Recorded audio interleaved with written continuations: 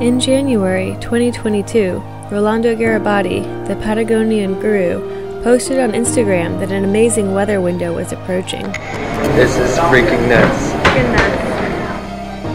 Instead of waffling back and forth, we bought the tickets and jumped on a plane. We packed our bags with no clear objective in mind, just the relative certainty of good weather in an alpine playground. During the long journey south, we chose our target, linking three different routes to traverse over to Patagonia's most challenging summit, Torre Egger.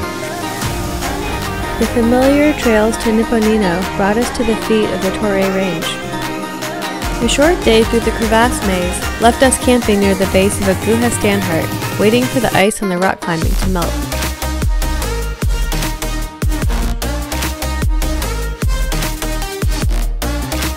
While we were climbing up the Col Standhardt to begin the first round, Festerville, we were joined by two other alpinists, Augustine and Michal, who were also intent on climbing the same route.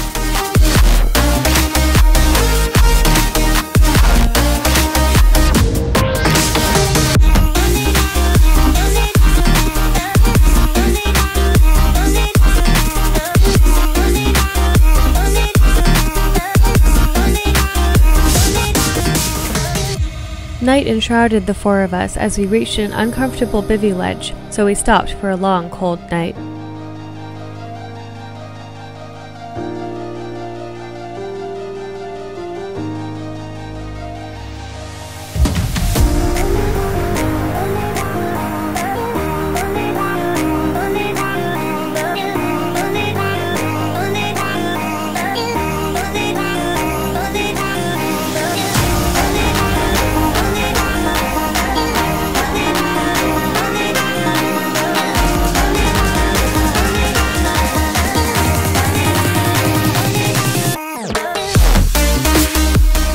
The route, Festerville, put up by Timmy O'Neill and Nathan Martin in 2000, climbs 400 meters up to 6C on rock and 90 degrees on snow and ice to the summit of Standhardt.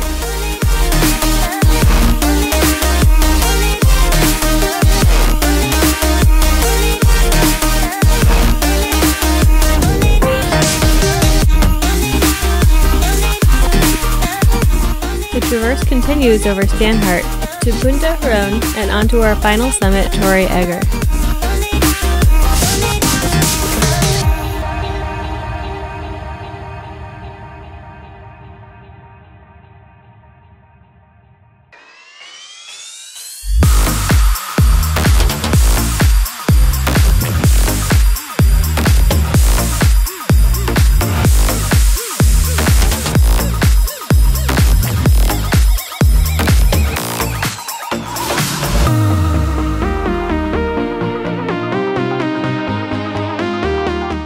After summiting the next day, Michal and Augustine repelled the route.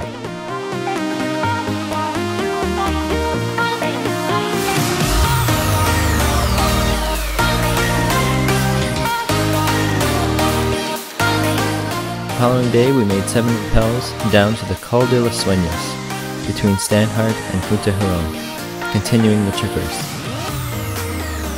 We found some of the most fantastic rock climbing in Patagonia on the route Spigolo dei Bimbi on Punta Herron, and steep ice inside a wild, windswept vertical half pipe leading to the summit.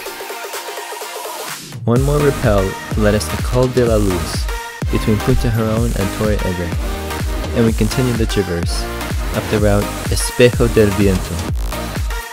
Climbing on run-out, wet, technical slabs under Torre Egger's overhanging summit mushroom brought us to easier snow and ice, and finally to the summit of Torre Egger.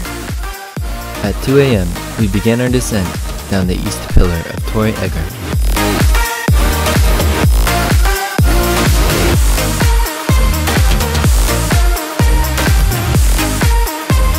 Wow, life.